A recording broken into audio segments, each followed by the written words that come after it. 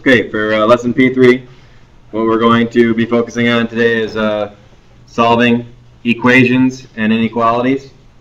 And in order to solve equations and inequalities, we need to uh, recognize a few properties here. Uh, most of these properties we've worked with in the past. Um, once again, you don't need to scramble to write all this down because it's right in your book. You can write them down later if you'd like to have it in your notes. Uh, just a couple of uh, properties regarding equations. Okay? And we have some similar properties regarding inequalities, which we'll look at later. Um, the reflexive property tells us that uh, if we have the same thing on both sides, okay, that is an inequality. Uh, the symmetric property tells us that if we have u on the left and v on the right, that's the same as having v on the right, or left and u on the right. Okay, switching the sides doesn't change anything. And also the transitive property, if uh, u equals v and v equals u, then it must be true that u equals w, or u, v equals w, I should say. Then it must be true that u equals w. Okay. Now the two probably most important properties for us today are going to be the addition property of equality and the multiplication property of equality, because this is what allows us to solve equations. Okay. So ultimately, if we have, uh, uh, excuse me, uh, any true sentence is what it boils down to. Okay, it's okay for us to add the same thing to both sides of an equation okay, to get some desired result. And as we learned in algebra, when we first started solving equations, okay, the goal of solving equations is to get the variable by itself. Okay, in order to do that, sometimes we have to add something to both sides or we have to subtract something to both sides. Okay, and that's what allows us to do that is this addition property of equality. Similarly, we know that uh, from our previous equation solving, that sometimes we have to divide or multiply to get our variable by itself. And what allows us to do that is the multiplication property of equality. Okay. So let's take a look at uh, just a definition here to make sure we're clear because in uh, part of our work today we're going to be asked to look at an equation and decide if it's linear or not. Okay, So a linear equation in x okay, is one that can be written in the form ax plus b equals 0. Okay. So that's what we're looking for is can we write it in that form? Okay, if we can't put it in that form, okay, that's not linear. And ultimately, what we're going to be looking for today is they're going to throw us some equations that might have x squared in that. Okay, does this have an x squared in it anywhere? No. So if you see an x squared, is it linear? No. What if you see sine x in there? Okay, not linear. Okay, you don't see anything like that. It just has to have an x variable, and the x variable could be multiplied by something, and there could be something added. Keep in mind that b could be 0, possibly. If I told you 3x equals 5, would that qualify as something linear? Or even 3x equals 0. Okay. That would qualify as linear. Because in both cases, we could write 3x minus 5 equals 0, and 3x minus 0 equals 0. We can put them in that general form that we have right here.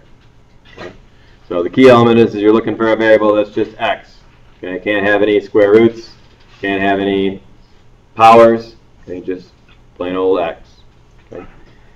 All right, and the other thing that can't happen is you can't have the a be 0, because if a was 0, what would happen to your x that you just had? It would be gone. a times 0, or 0 times x would be 0. It wouldn't, there wouldn't even be a variable, so therefore it wouldn't be linear. Okay. All right, and as I mentioned, what we're going to be doing today is solving equations. And ultimately what we're after is a value of x that makes the sentence true. And that's all a solution to an equation is, is just the value of x that makes the sentence true. Okay? And ultimately, to solve an equation, find all the values of x for which the equation is true. Okay? In other words, find all the solutions. And our general strategy is going to be to get the variable alone.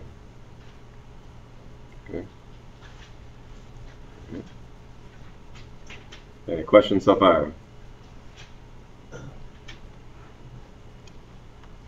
right, let's take a look then.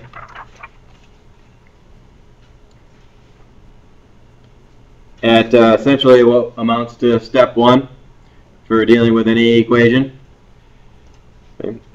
And this talks about equivalent equations. An equivalent equation is obtained if one or the more of the following operations are performed. Okay. So the first one is combining like terms. Okay, sometimes we're not ready to solve an equation because there's like terms that need to be put together on the same side of an equation. Okay, so in this particular case, you know, we might say, how do you solve this? Well, we don't solve it yet because this is not ready to be solved. Okay, 2x and x need to be put together on the same side of the equation. Okay, now that we have the 2x and the x combined, okay, now we're ready. Okay, now we can go ahead and use our solving process, which we'll talk about in a minute. Okay, but that's the one thing they want to look for before you actually solve. Okay, you first need to simplify. Okay, and one of the steps in simplifying, either the left or the right or both, is going to be combining any like terms that you see. Okay. All right.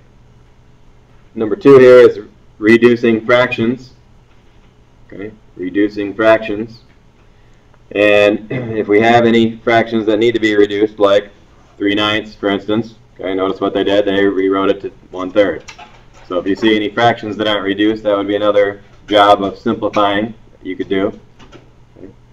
And then finally, removing grouping symbols. Another equation that I could write, maybe if I have 4 and then I have 2x minus 3 equals 8, something like that. Okay. Before I'm ready to solve this, I need the grouping symbols out of there. So I would go ahead and distribute.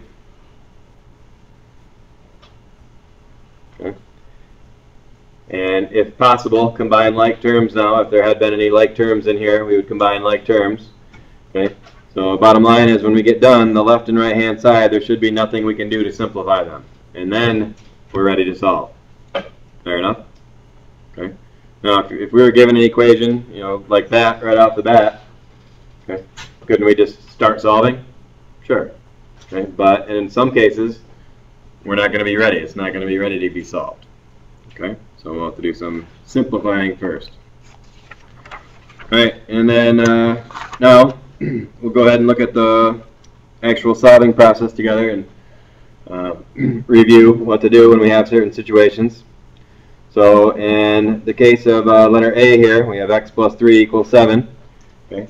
To get the x alone, okay, we just need to get rid of the plus 3 here. So we learned in algebra that we would add negative 3 to both sides, or the same thing as that would be subtracting 3. Okay. So if we did that, we'd subtract 3 from both sides. And usually when we do the work, we write down minus 3, minus 3. And depending on how you know complicated or simple the equation is, you may or may not have to actually write that down to figure out that it's just 4. But ultimately, this is what the work would look like if I choose to if I chose to show it. On uh, the second one, you notice that we have x's on both sides of the equation. So if there's x's on both sides of the equation, we need to get those together. So I would suggest going minus 2x and minus 2x to both sides. Okay. And if we did that, that would lead us to the 3x minus or 3x equals 4 we see over here. Okay. And once the x's are together on the same side, really doesn't matter whether they're on the right or the left. Okay. Now we're ready to solve. So in this particular case, we would divide by 3. And that's using that multiplication property of equality we just mentioned. And the final answer here would be 4 thirds. And how many times out of 10 should we take our calculator out and divide 4 and 3 and give a decimal answer for this? Yeah, 0 times out of 10. Okay, just leave it as 4 thirds. That's good. Okay. Right? And then in these two cases, once again, these two are essentially the same.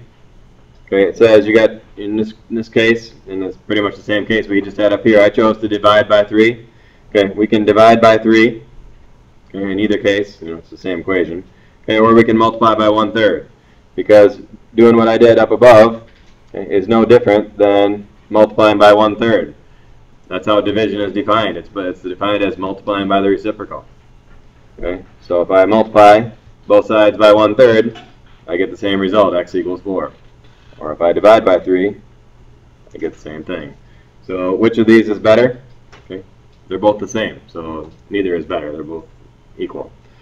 Uh, I would suggest, though, that if there was something like 3 quarters x equals 5, for instance, okay, instead of dividing by 3 quarters, okay, it's easier when we have a fraction in front of x to, uh, I'd go with uh, letter C here. I'd multiply by the reciprocal. So I'd multiply both sides by 4 thirds. That way I'm not worrying about dividing by a fraction. All right.